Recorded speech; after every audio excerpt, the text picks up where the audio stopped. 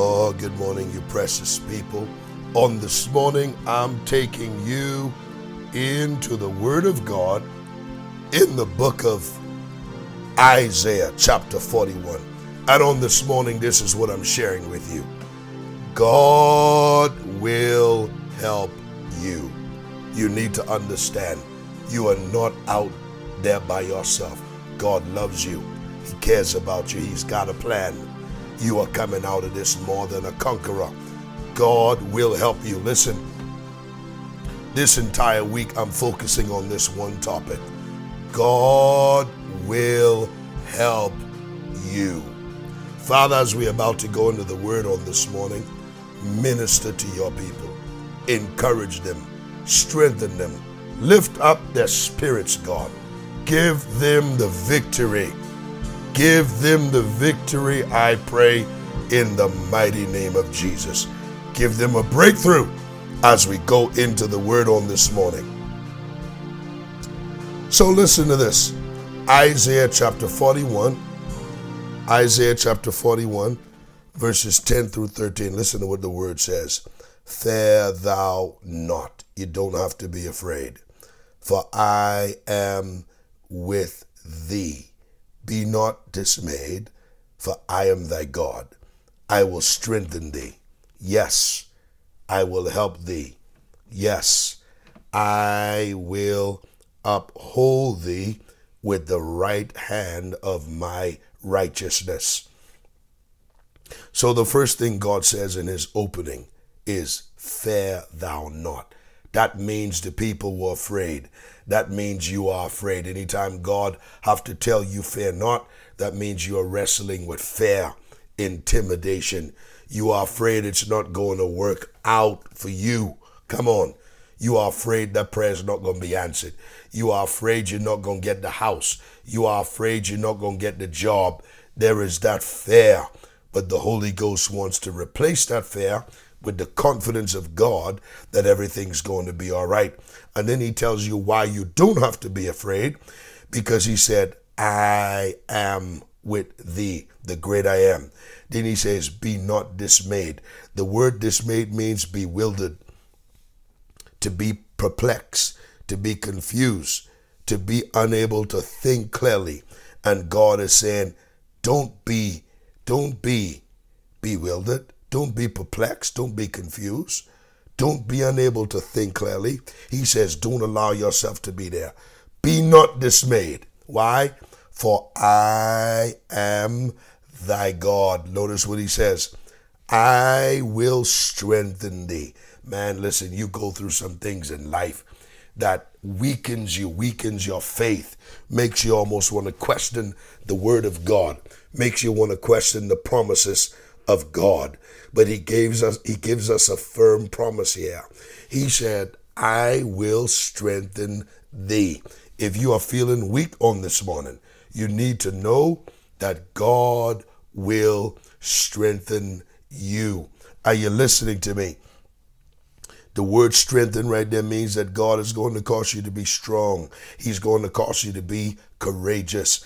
God is going to cause you to be brave because that's the kind of God we serve. Amen. So he says, Fear thou not, for I am with thee. Be not dismayed, for I am thy God. I will strengthen thee. I love these eyes in here because this is God talking. It, it just doesn't get any better than this. You know, someone's looking for some personal prophecy. You don't even know the person. You don't even know if they're lying to you. Amen but we are talking about the written word of God. You can stake your life on thus said the Lord. You know, Psalms chapter 33, verse 4 says, For the word of the Lord is right. Psalms chapter 119, verse 105.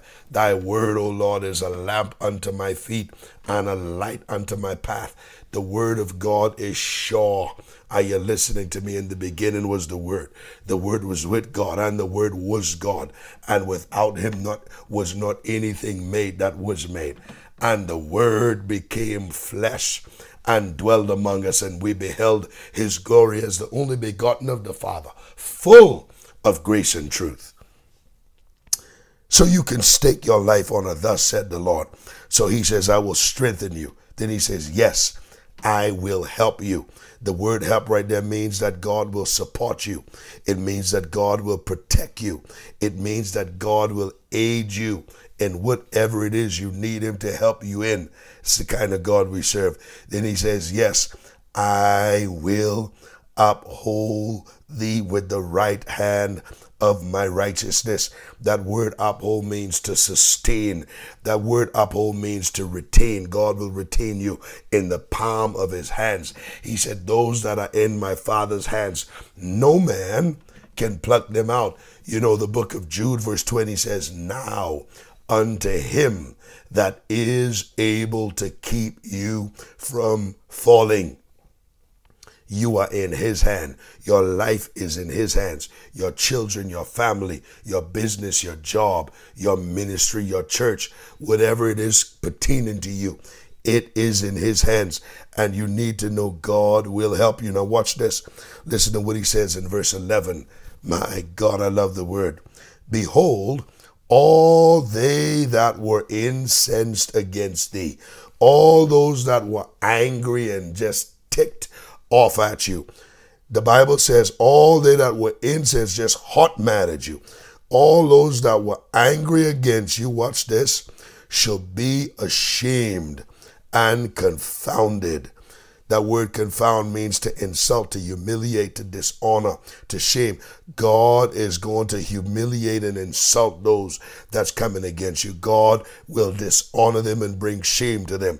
Behold, all they that were incensed against thee shall be ashamed and confounded. My God, they shall be as nothing, and they that strive with thee shall perish. God will annihilate them. He will bring an end to them. Look at what God did with the Egyptians and Pharaoh when they were coming against the children of Israel. God drowned them in the midst of the Red Sea. God annihilated them. He wiped them out. Listen, there comes a time in your life when God will arise and cause your enemies to be scattered. I said, there comes a time when God will arise. God will arise and your enemies will be scattered by the power of the Holy Ghost. That's why he said, you don't have to fight for yourself. He says, Vengeance is mine. I will repay. God's got your back. Listen to what he says in verse 11 Behold, all they that were incensed against thee shall be ashamed and confounded. They shall be as nothing, and they that strive with thee shall perish. Thou shalt seek them and shall not find them even those who contended with you, those who are fighting against you, they that war against you shall be as nothing and as a thing of naught. Listen to what he said in verse 13. For I, the Lord, for I, the Lord thy God, will hold thy right hand, saying unto thee, Fear not, I will help thee. For I, the Lord thy God, will hold thy right hand, saying unto thee, Fear not, I will help thee. God loves you, my friend. God is on your side. I feel the anointing of the Holy Ghost. I said, I feel the anointing of the Holy Ghost. God wanted me to tell you this morning that God will help you. I don't care what situation it is that you are facing. I don't care how difficult the trouble is that you are in right now. It may seem all the odds are stacked against you, but we serve an awesome God. He says, I will help you. And if God be for you, who can be against you? I cover you in the blood I cover you in the blood of the Lord Jesus on this morning. I pray for you right now that God would strengthen you in your spirit, in your soul, and in your body. We serve a mighty God. I cover you in the blood of Jesus Christ. I bind every devil, every foul, an unclean spirit that have risen against you. I rebuke it in the name of Jesus. I rebuke it in the name of Jesus. I rebuke it in the name of Jesus. I pray God give you the victory, my friend. I pray that God would give you the victory. I pray that God would give you the victory. I pray that God would give you the victory in the name of Jesus. I pray that God would give you the victory. I pray that God would give you the victory in the name of Jesus Christ. Glory to God. Listen, I want to give you a chance to sow a seed into the kingdom of God. I want to give you a chance to sow a seed into the kingdom of God. You can visit us online, seanpinder.net forward slash give and sow a seed into the ministry. You can also give through the ministry PayPal account that address is paypal.me forward slash Sean Pinder Ministries. Glory to God.